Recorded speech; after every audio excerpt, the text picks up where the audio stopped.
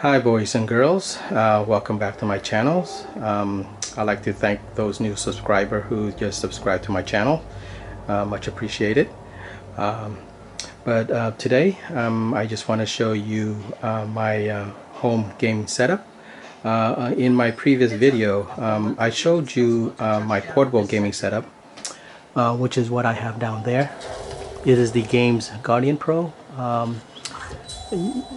You can uh, check out my videos uh, to see what it looks like.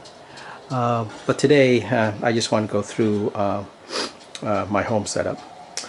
So this here is my gaming station. Right there's my gaming chair.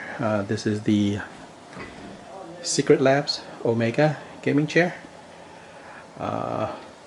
And this this I have this set up both for both uh, console gaming as well as PC gaming.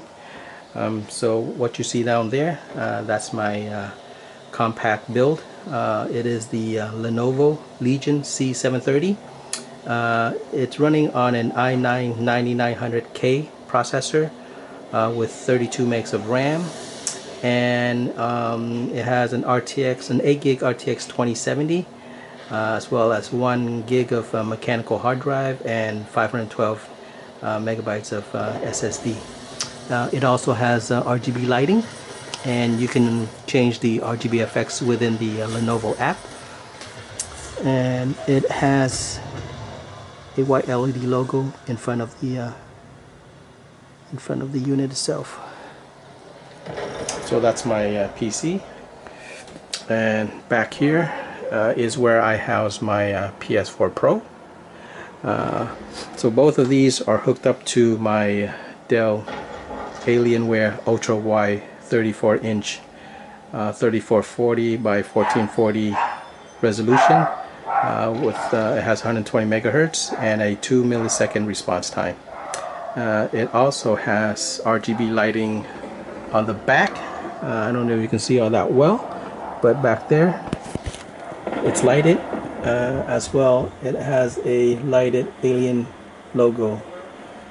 And underneath here it has motion lights as well. So um, this monitor is hooked up. So the PS4 is hooked up uh, via the HDMI and the PC is hooked up uh, via the display port. And I can toggle between the two uh, within the menu. So that's the uh, PC right there. Come back to PS4. Okay. Uh, now for the sound, I have it running off of um, this is the Sound Blaster Katana. I think it's called Katana X or EX. I'm not sure. Um, but it is a soundbar and it has its own subwoofer which I have it down there. Now this is connected to my PS4 via the optical and on for the computer.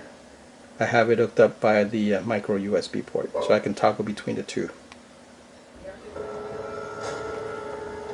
And it ha also has uh, RGB lighting and I can change the effect of it.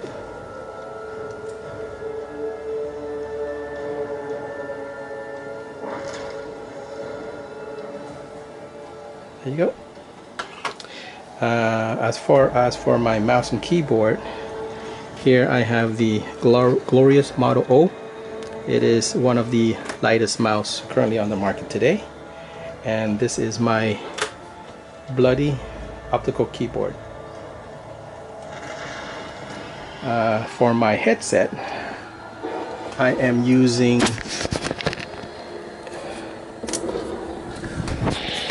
the Steel Series Arctis Pro wireless for PS4 and PC and this is the transmitter for it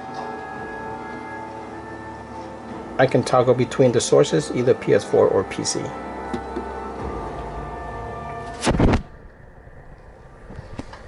Now the headset is sitting on a Corsair, Corsair, uh, sorry, Corsair uh, heads, headset stand, RGB.